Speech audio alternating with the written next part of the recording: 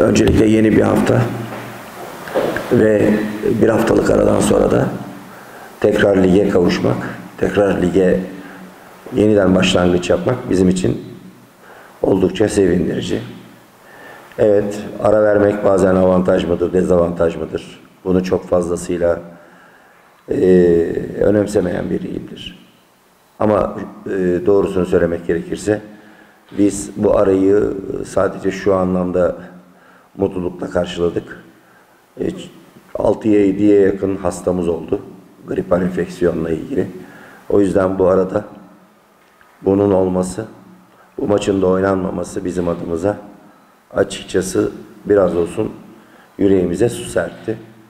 Ama çok şükür ki çocuklarımız şu anda toparladılar ve antrenmanlarımıza eksiksiz bir şekilde devam ediyoruz.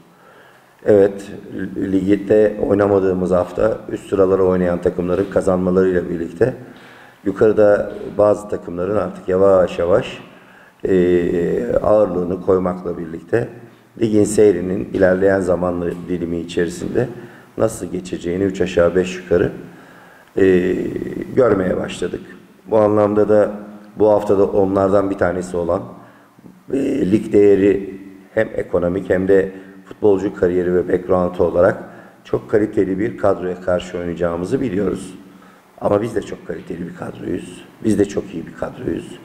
Biz e, hiç kimseden çekinmediğimizi, hiç kimseden e, asla ve asla sadece puan kazanalım diye gittiğimizi hiçbir şekilde benim ağzımdan duyamazsınız. Böyle bir şansımız yok. Böyle bir oyuncu grubu yok.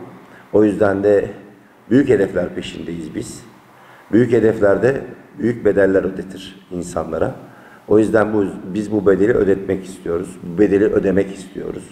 Bir şekilde e, bu bedeli ödeyerek hayatımızdan, yaşamımızdan, çalışmamızdan, e, kendimizden bu bedelleri vererek bu takımın hedefe gitmesi için büyük bir gayret sarf ediyoruz.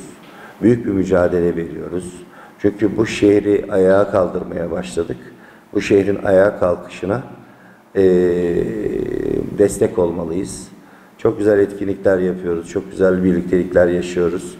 Ve ümit ediyorum ki inşallah ilerleyen zamanlar YMG Kastamonuspor adına çok daha güzel bir futbol kulübü olma yolunda ilerlediğini gösterecek. Ben bu anlamda mutluyum. İnşallah Iğdır'da da güzel bir galibiyetle dönmeyi planlıyoruz. Iğdır'ın iyi takım olması, Iğdır'ın iyi oyunculardan oluşması, Iğdır'ın ekonomik anlamda çok yüksek bir potansiyele sahip olması bizi hiç mi hiç ilgilendirmiyor. Rakip ne olursa olsun bizi hiç ilgilendirmiyor. Tabii ki onların da bir takım zaafları var, onların da bir takım eksikleri var.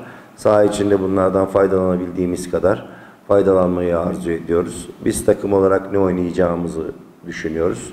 Nasıl oynamamız gerektiğini hesaplıyoruz. Bu anlamda da bir, birkaç tane taktiksel anlamdaki formatımızı çocuklarımıza bu süreçte yerleştirmeye çalışıyoruz. Umarım istediklerimiz sahaya gerçekleşir ve umarım oradan da yüzü gülen, kazanan ve tekrar yoluna emin adımlarla ilerleyen, ilerleyen bir GMG Kastamonuspor Kulübü çıkar ve sevdiklerimize de, bizi sevenlere de, bu takımın sevdalılarına da güzel bir hafta sonu armağan ederiz.